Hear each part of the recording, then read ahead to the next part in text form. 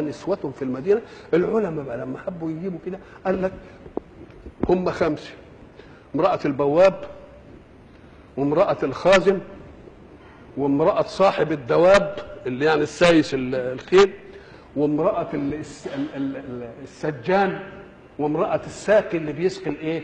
اللي بيسقي الملك.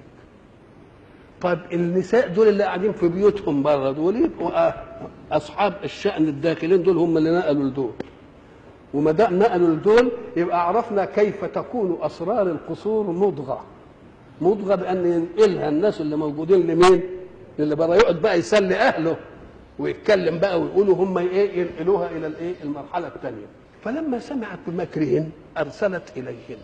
يعني عملت لهم دعوة وأعدت لهن متكئا.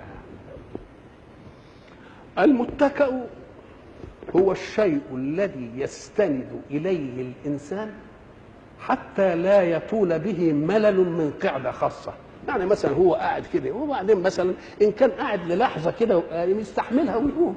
إنما إن كان هيقعد بقى ويرسي يبقى مرة عايز يتكئ كده مرة عايز يعمل كده مرة عايز يمدد يبقى لازم عنده بقى إيه شوية نمارق وشوية حشاية وشوية طناء مش عارف إيه يقعد يتركن على كيفه بقى. ودي دليل على أن القاعدة إيه؟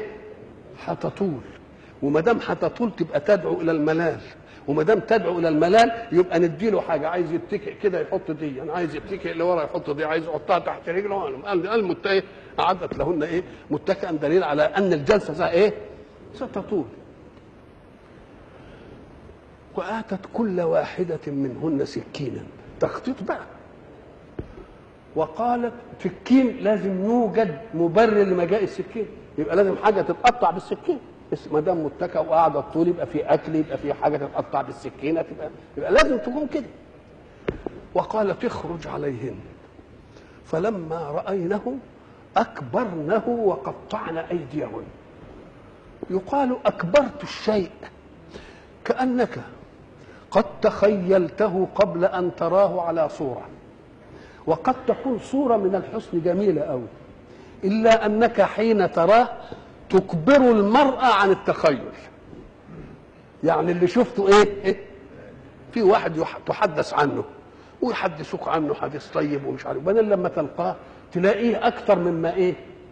مما حدث عنه. لذلك الشاعر يقول كادت مساءلة الركبان تخبرني عن جحفر بن حبيب أصدق الخبر حتى التقينا. فلا والله ما سمعت أذني بأطيب مما قد رأى بصري. لقيت حاجة يعني إيه؟ وفي واحد تسمع عنه حلو وبعدين حين ترى تقول هو ده اللي كنت بسمع عنه ولذلك يقولون في المقابل سماعك بالمعيدي خير من أن تراه. يا ريتك فضلت تسمع عنه كده ولا شفتوش. لأنك لو شفته الكلام ده إيه؟ هينقض يبقى فيه مصر فلما رأيناه أكبرنه لما هم قالوا امرأة العزيز بتراود فتاة ولازم الفتى ده شكله مش عارف إيه وشكله إيه تخيلنا له صورة من الإيه؟ صورة من الحسن وبعدين شافوه أكبروا المرأة عن الايه؟ عن الإيه؟ الصورة. فلما رأينه أكبرنا. أكبرنا يعني وجد على صورة فوق ما تخيل فيحصل فيه انبهار. الانبهار ده يديه أول مرحلة من مراحل الانبهار الذهول الذهول يجعل الشيء الذي طرأ عليك في مرآك يذهلك عما تكون أنت بصدده. يعني إن كان تزل كده إن كانت في حاجة إيدك في حاجة تقع إن كان في مش عارف إيه يحصل إيه؟ يبقى تشغل بما رأيت عما كنت إيه؟ فلما رأيناه اكبرنه اكبرنه هاله الموقف حصل لهم ذهول الذهول نسوا إنه في إيدهم إيه؟ سكاكين وهم بيقطعوا البتاع فقطعنا إيه؟ ايديهم دي تصوير لما واللي بقى فيه تصوير بقى يعني يجيب الصورة مثلها. مش ممكن. فلما راينه اكبرنا وقطعنا ايديهن وقلنا حاشا لله. حاشا لله. كلمة حاشا دي معناها تنزيه. معناها تنزيه. والتنزيه لمين؟ لله. طب والتنزيه لله ما موقفه هنا؟ أم قال لك أن الله منزه. إن واحد زي ده ملك زي ده تيجي منه إزاي دي تيجي؟ إزاي؟ تنزيه لله. أو أننا ننزهه. عن أن يكون قد حدث بينه وبين امرأة العزيز إيه؟ شيء. وهذه الشهادة مش لهاده هوانا ولا حاجة ده شهادة لمين؟ تنزيه مصدره من الايه من الله حاشا لله. ده مش بشر ده. ليه؟ لابد أن يكون قد خرج عن صورة من أرقى صورة الإنس اللي شافوه. فقال لك أنا ما شفناش حاجة دي في الإنس. يبقى ده إيه؟ لازم يكون إيه؟ ملك. والملك ده شيء من التخيل. تخيل الإنسان لما يجي يتخيل ده, ده, ده ملاك. ملاك يعني إيه؟ على أجمل صورة. لأن الخيال قد يحكم على الأشياء المتخيلة الحكم اللي يناسب صورتها في الإيه؟ زي ما نتصور الشيطان. الشيطان نتصوره إيه؟ هو إحنا شفنا الشيطان ما شفناش إنما حين نتصوره نتصوره بإيه؟ بأبشع صورة. وحين نتصور الملاك نتصوره بأجمل إيه؟ بأجمل صورة. فالشيطان نتصوره إيه؟ بأبشع صورة. البشعه دي بنختلف فيه. انت قد ترى شيئا بشعا غيرك لا يراه. يعني مقاييس الجمال في الأمم بتختلف. ده تيجي في مثلا في اواسط إفريقيا من الجمال إن المرأة تكون شفتها قد المجور زي شفة المجور كده. مسائل وإن كذا تبقى مسائل ما نعرفهاش دي. ومن وسائل الجمال عندهم إن المرأة يكون شعرها اقرط قوي مموج مموج مموج مموج. وبعدين أكدت الحضارة الحديثة أن هذا لون أيضا مما ينجذب إليه الإنسان في الجمال. بدليل إن الستات يروحوا للكوافير يقول لك إيه, إيه؟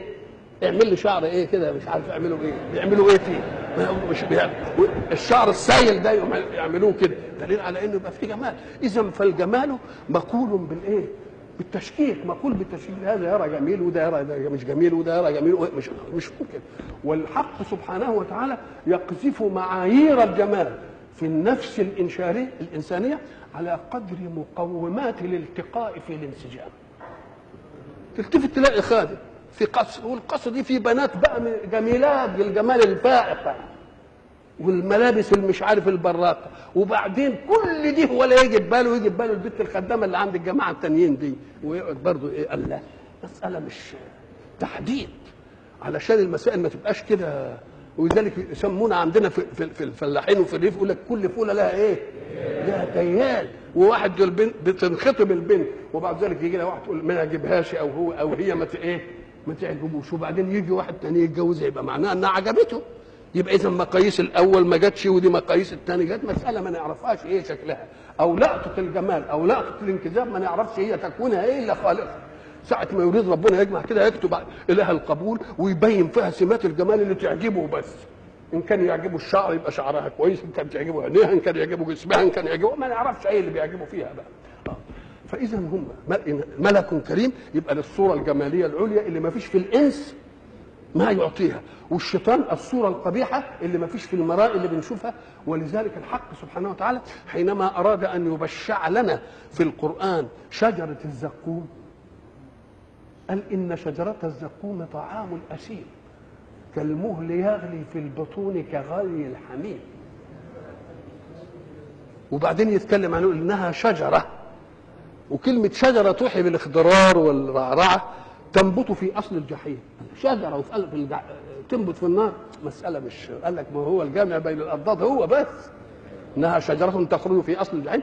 طلعها كأنه رؤوس الشياطين.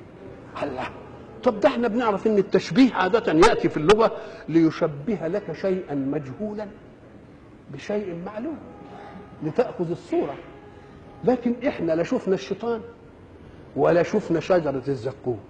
يبقى اداني شجرة الزقوم اللي لسه مش وإن شاء الله ما نشوفهاش ابدا. كأنها رؤوس الشياطين. لا ده شفناه ولا ده شفناه مع أن التشبيه يشبه إيه؟ مجهولا بمعلوم. عشان يديك صورة للمجهول من المعلوم الذي فما دام ربنا قال كده إزاي دي تيجي؟ قام قال لك طب هات كده أنت بلاش سيب الآية كده. وهات الرسامين اللي في الدنيا كلها بتوع الكاريكاتور. وخليهم قول لهم إحنا عايزين نعمل مسابقة لصورة الشيطان. كل واحد يمسك الريشة بتاعته والألوان والورق ويقعد إيه يرسم صورة للشيطان. لو رسموا مليون صورة كل واحد يرسم صورة ومسكت الصور ما فيش صورة تلتقي مع صورة. كل واحد صور البشاعة بإيه؟ بشكل يتخيله هو. ده تصورها كذا وده تصورها كذا. واحد يتصورها بإن بقه عامل كده واحد يتصورها بإن عينيه مشروطة كده واحد يتصورها بإن عينيه هنا مش عارف كل واحد يتصور الصورة البشعة. لو أن الله صور طلع شجرة الزقوم بشيء بشع محدد يبقى ألزم أخيلتنا في هذا الشيء الإيه؟ تبقى البشعة تبقى على لون إيه؟ واحد. لكن لما يشيعها كده يبقى كل واحد يتخيل في الشيطان الصورة القبيحة. يبقى رب المعنى وزوده ولا قصره؟ يبقى ربه وزوده.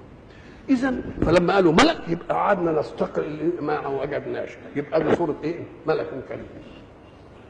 ما هذا بشرا إن هذا إلا ملك كريم. قالت لقت الفرصة بقى ما دام ارتفعوا بهذا قالت لهم يعني أنا معذورة ولا لأ. تبقى بدها تثبت لنفسها إيه؟ العذر. قالت فذلكن الذي لمتنني امرأة العزيز تراود إيه؟ فتاها عن نفسي وخدتها على انكم تشدقت بها وقعدتوا تتكلموا أهو. ما هذا بشر؟ إن هذا إلا ملك كريم حيثية تعلقي به. وهو ده اللي أنا إيه؟ اللي أنا راودته عن نفسه. أنتوا شفتوه قلتوا كذا. يبقى أنا معذورة ولا مش إيه؟ مش معذورة. قالت فذلكن ذا يعني إشارة لمين؟ ليوسف. وذلكن خطاب لمن؟ للنسوان. يبقى فيه إشارة وفيه خطاب.